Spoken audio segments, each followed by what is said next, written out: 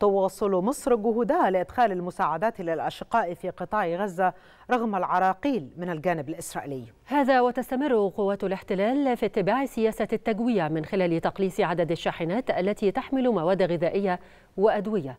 في الوقت الذي يحتاج فيه قطاع غزة إلى المعونات لمجابهة الجوع والمرض. المزيد من معبر رفح مع مراسل التلفزيون المصري محمد الخطيب.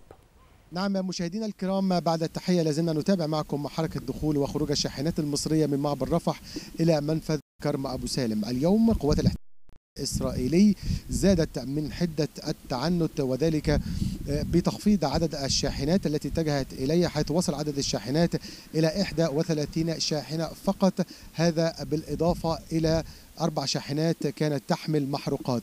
الإحدى وثلاثين شاحنة من قام بتفريغ حمولته وصل إلى خمس شاحنات فقط من المساعدات الإغاثية والإنسانية. إذا نحن أمام مسلسل تعنت كبير والتنكيل بالشعب الفلسطيني الشقيق من قبل قوات الاحتلال الإسرائيلي.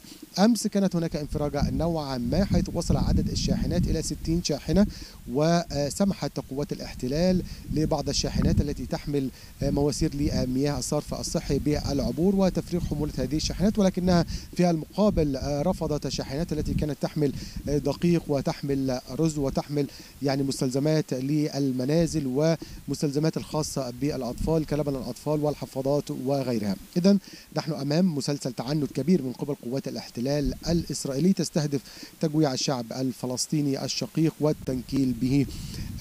على جانب آخر لا تزال قوات الاحتلال الإسرائيلي تمارس يعني الهجمات الجوية العنيفة على مناطق متفرقة من الناحية الأخرى من معبر رفح وبالتحديد في تل السلطان والحي السعودي واحد واثنين وثلاثة. وبالفعل كنا نسمع دوي انفجارات دوي انفجارات يعني كبيرة قادمة من الناحية الأخرى من معبر رفح. هذا هو المشهد لدينا إلى الآن وأعود إليكم مرة أخرى.